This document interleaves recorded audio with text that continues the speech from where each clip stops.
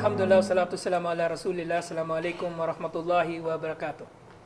Sa ating espesyal na episode ng ating programang mula sa kadiliman tungo sa liwanag, ay magkakaroon tayo ng pagkakataon na makadaupang palad ang isa sa mga masisigasig na mag-aaral ng Rhoda Islamic Center dito sa Riyadh, Saudi Arabia, si Brother Ahmad Ermi Parilla Campo.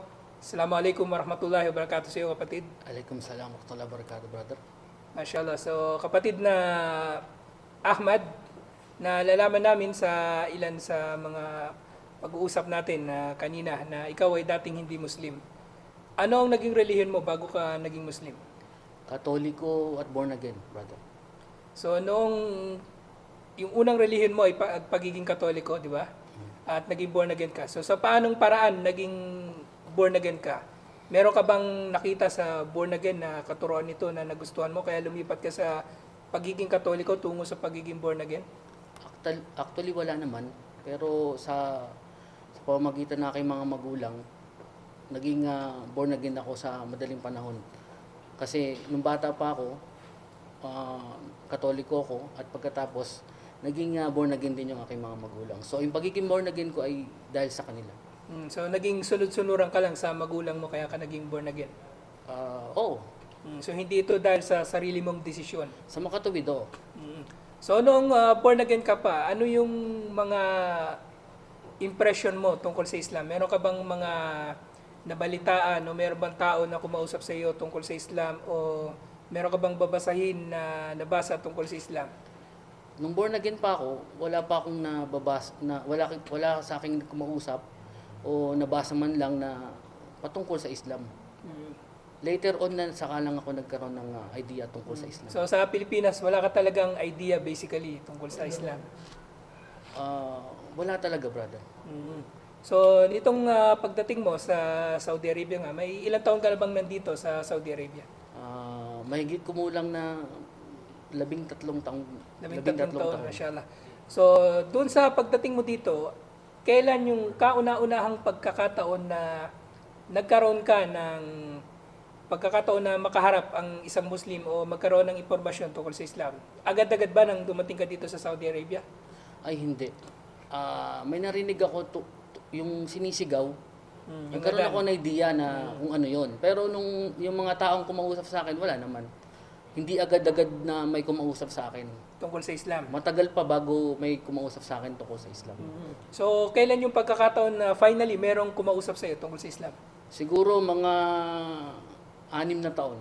Anim na taon Anim pa ang lumipas after na dumating ka dito sa Saudi Arabia.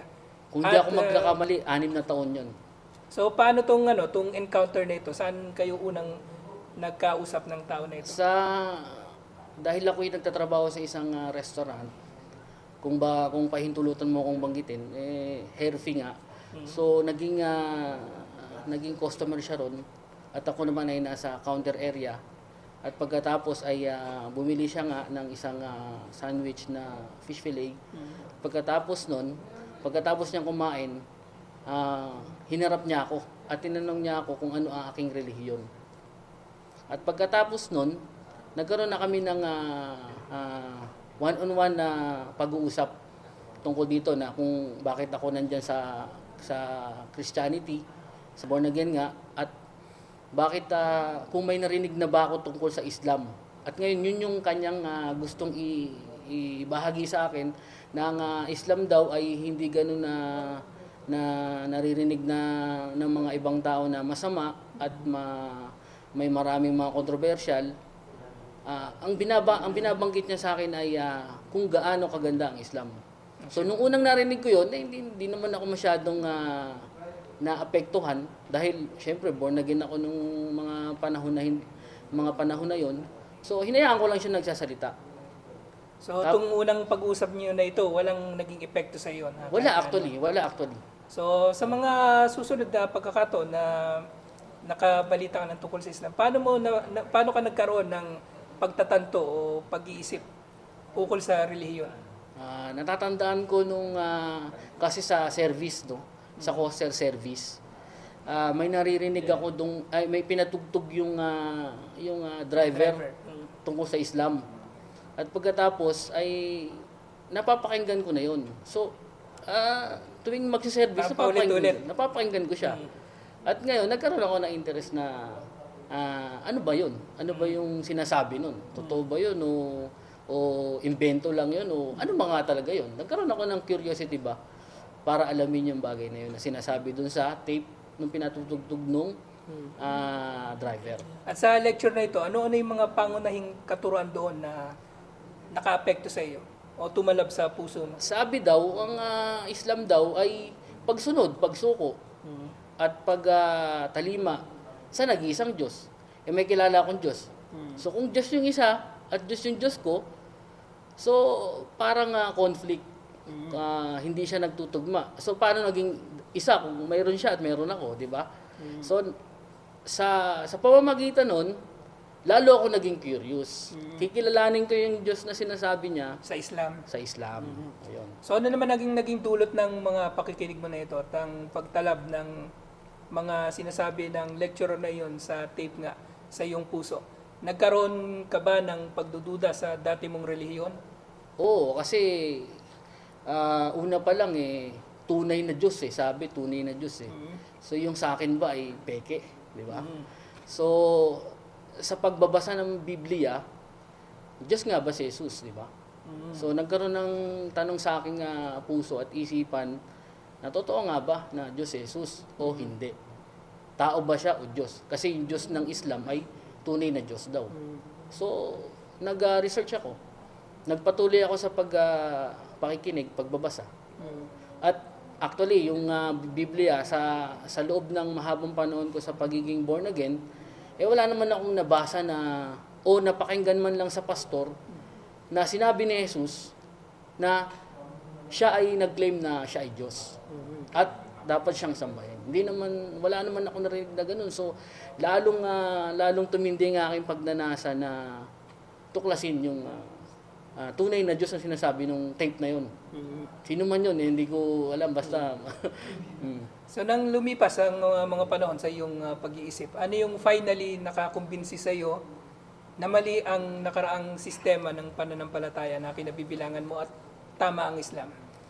Ah, sa sa puntong 'yan ay ah, may nakausap kong may nakausap akong isang ah, Muslim. May nakausap na ako na isang Muslim na nagsasabi na kung sinab kung hindi sinasabi ng Biblia mo na si Jesus ay Diyos at dapat siyang sambahin, bakit ka pa naniniwalang si Jesus ay Diyos? So, pinakikilala ko sa iyo si Allah Subhanahu wa Ta'ala. Ang sabi niya no daw, so sabi niya ng ganun. Pinakikilala ko sa iyo si Allah Subhanahu wa Ta'ala na tunay na Diyos na dapat sambahin ah, at pagkukulan lamang ng ah, pagsamba. Ito ay ah, siya ang ah, Diyos ng mga nakaraang mga prope, mga nagdaang propeta, mga nagdaang tao. At simula pa na ito daw ang relihiyon. So doon sa pag-uusap niyo na ito, nakumbinsi ka ba kaagad na maging Muslim?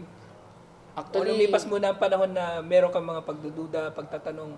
Actually, nung time na yon na sabi niya, ah, kung naniniwala ka, sabi niya sa akin, kung naniniwala ka na hindi Diyos si Jesus, at naniniwala ka naman na, na tunay na Diyos si Allah, so, dapat isabihin mo na, tanggapin.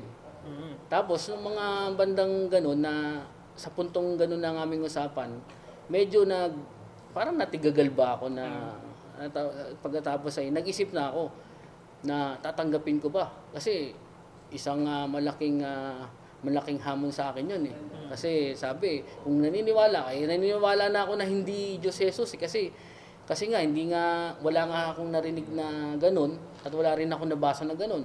So, kung naniniwala ako sa na hindi Diyos Jesus at pagkatapos ay Diyos yung ah, naniniwala ko na Diyos si Allah, ba't ano pang ah, pumipigil sa akin?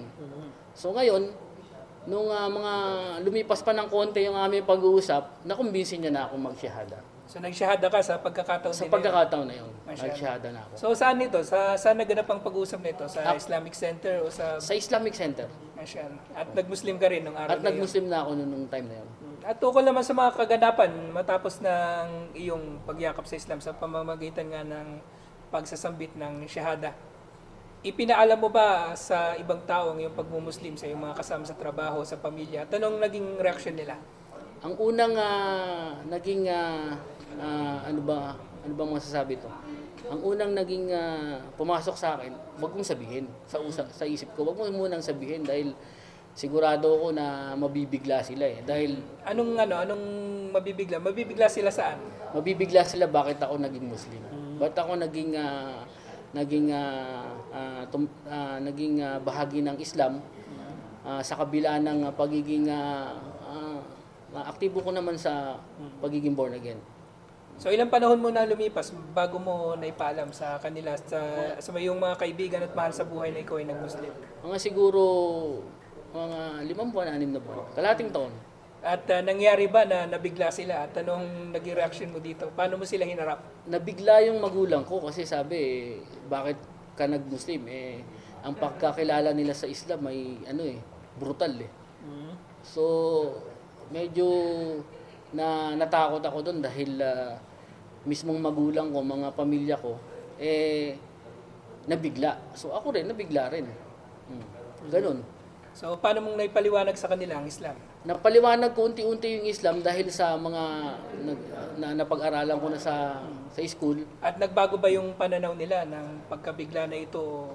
Nagbago rin dahil ah, Natanggap nila pagmumuslim mo? natanggap rin alhamdulillah kasi nakita naman nila na na ako ay ah, nagsasagawa ng ah, tungkol sa pagsamba sa Islam. Kaya unti-unti ah, alhamdulillah ngayon eh tanggap na tanggap na nila na Muslim ako. So meron bang ah, meron ka ba ngayong pamilya o malapit sa buhay na nagmuslim? Ah, yun nga lagi kong dinudua, brother, ah, actually.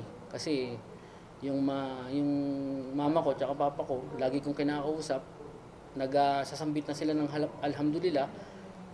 Pero hindi pa rin sila nag-ano, nag nag shasyada. Hindi pa rin sila nag ah, tumatanggap sa Islam. Yun nga lagi kong pinagduduwa actually.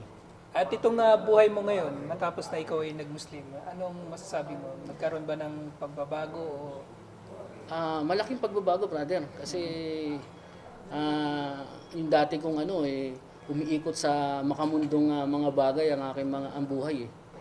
So ngayon eh nagiging akti nagiging ah, ah, inuubos ko na yung oras ko sa sa Islam, sa Sa pag-aaral at pag-aaral. nito?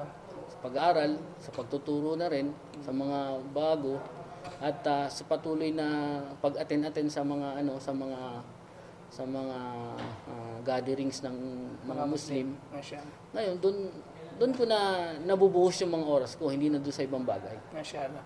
At ah, dito po ang uh, alhamdulillah tatapusin na natin ang ating maiksing panayam kay ah, Brother Ahmad ukol sa kanyang kasaysayan ng pag, kanyang pagyakap sa Islam.